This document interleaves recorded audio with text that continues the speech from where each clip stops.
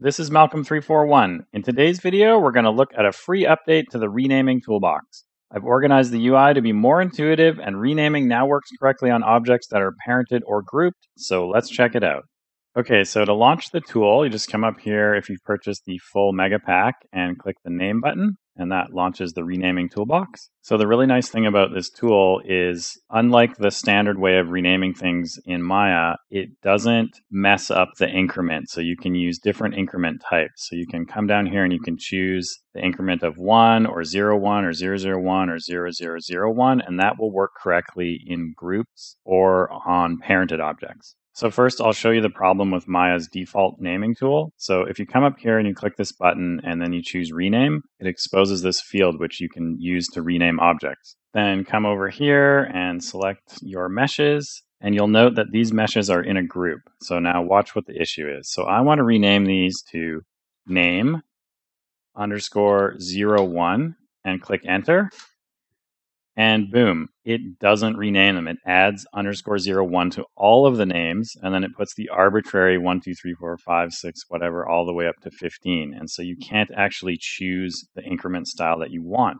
And often for video games, it's really common to use underscore zero one. That's like the main naming convention that I've seen in pretty much every project I've worked on. And as well, another flaw in the tool is if I go to rename these objects again, and I go name underscore zero one, whoop, zero one, and hit enter, it adds to the number on the end. Like that's the last thing that you want. Why would it take the one that's named one and then turn it into 16? It doesn't make any sense. Somehow this tool remembers your renaming between renames, even if you've deselected the objects. If I go again here, name 01, whoop, and then now it's like 31 like what is going on? So let's try it even without adding the thing that doesn't work in the group. So we'll just go name underscore. And then we get zero two? Like what is happening? This is totally wacky. Like i don't understand how this simple tool just it just doesn't work in any scenario. Okay and i've just parented some of the objects underneath some of the other objects in the group and watch what happens now if i try to rename this. So i'm going to call this name underscore one, which should work with their wacky tool. And what do I get? I get one, one, two, two, three, four. I just, it doesn't work. I don't know. It's so crazy to me that this doesn't work. So basically, incrementing your object name is completely broken inside of Maya. Their tool just does not support it. They support only one type of increment, which is their auto increment. And maybe you don't want that type of increment. It's just horrible. I hate it. All right, so enough of that. Let's actually look at the tool that I created, which fixes all these problems. So we've got stuff here in a group with some hierarchy, with some stuff parented, like pretty arbitrary, right? Like pretty like whatever, kind of set it up how you like. Going to select all of these guys. They need to be selected in order because the increment is going to be based on what order you select them in. And you come up into the tool and you give it a name. So I'm going to call this name and then you give it an increment. So you can see the increment already has the underscore built in. So uh, let's say I want to do underscore one. Just click rename. Boom, works perfectly. 1, 2, 3, 4, 5, 6, 7, 8, 9, 10, 11, 12, all the way down to 15 in groups, in hierarchy, totally messy, and totally works fine. Now let's try the treacherous one that Maya is incapable of doing. Underscore 01, probably the most popular naming convention in all of video games. Click rename. Boom.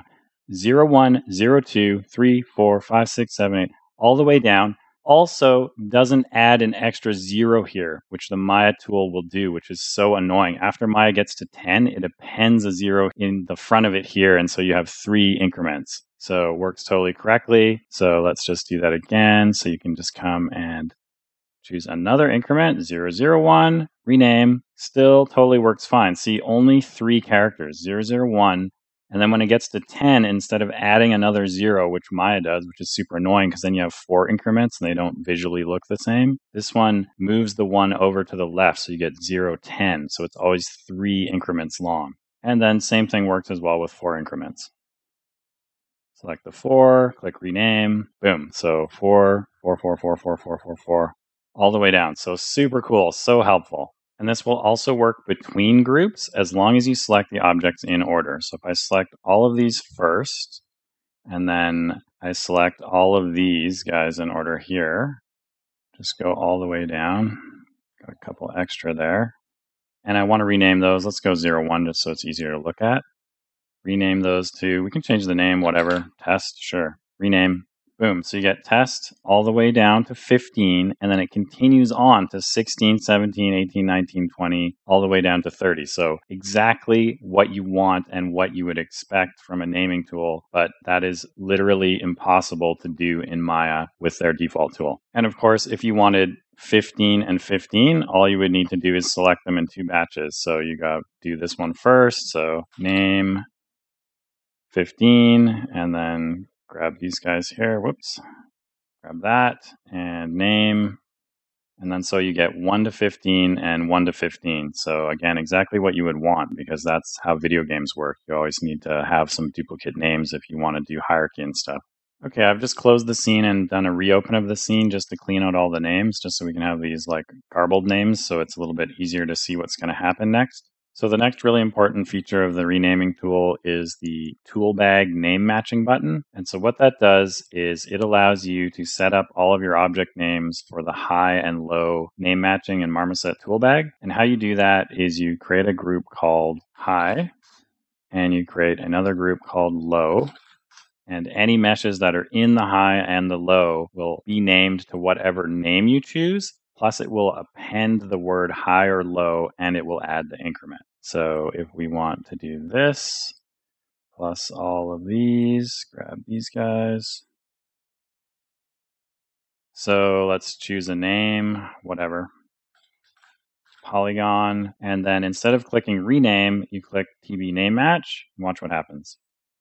Boom you get in the high group polygon underscore high 0 1 to 15 and in the low group polygon low 0 1 to 15 and so when you import those into the marmoset baker autoloader it will automatically sync up the names and put them in the right groups for you. So this can save a lot of time if you're doing complex mechanical models inside of maya and baking in marmoset or substance painter as well, we've got a couple other features. We have the prefix and suffix buttons. And what that will do is the prefix will add that word that you choose onto the front of the name, and the suffix will add it onto the back. So if we wanted to prefix and suffix this, we could say, uh, oh, I don't know, let's go prefix. And you want to put the underscore here because it's not built into this tool. So if we click that, it adds that word to the front of the object, and you can just add it to whatever, how many you want, all at the same time. So for some reason, if you wanted to do that, and then same with the suffix, we could go underscore suffix and click the suff button, and boom, there you go. There's your suffix. And now the search and replace, how that works is this field is for the search for. You can see this is the renaming field and it's also the search for field. And this is the replace field. So what you do is you type something here. So let's remove the suffix actually, or let's remove the prefix here. So prefix, I don't want that underscore there either. And then I want to replace it with nothing. So click the replace and boom, there we stripped off the suffix. Or better yet, let's strip something off in the center. I don't like high underscore. Replace with nothing. Boom, high is gone. Uh, suffix, I don't like that. So let's go suffix with, I don't know, name replace, boom, replaces it. So you have lots of flexibility. You can kind of rename anything how you want. If you mess up the name, you can always come back in and do a search and replace, prefix, suffix, do the name matching, kind of whatever you want. Pretty awesome, actually. I use this tool all the time because I'm working in Unity right now. And when you set up a prefab in Unity, it needs all of the names to remain the same in the Maya file. And so I've often got to come in and name like a bunch of different meshes and just increment them and have those names match and stuff. So been really helpful to be able to do it this way. And finally, I forgot to mention I've added the uh, version number to the tool as well. Pretty small update, but now you can tell which version you have and compare it with the version in this video. So when you see new features, you can check your own version and see if you're up to date. If you've already purchased the Megascript pack or the modeling pack, this will be a free update. So you just need to download the same file again from your original email link to get the new stuff. If you haven't purchased the script yet, you can grab the script by itself in the modeling pack, or you can get it in the Mega Script pack. So take your pick. Thank you very much for watching this video. Without viewers like you, this channel would not exist. If you liked this video and enjoy the channel, please support me by purchasing something from the online store. Each purchase goes towards creating more video content and keeps the channel ad free. See you next time. Have an excellent day.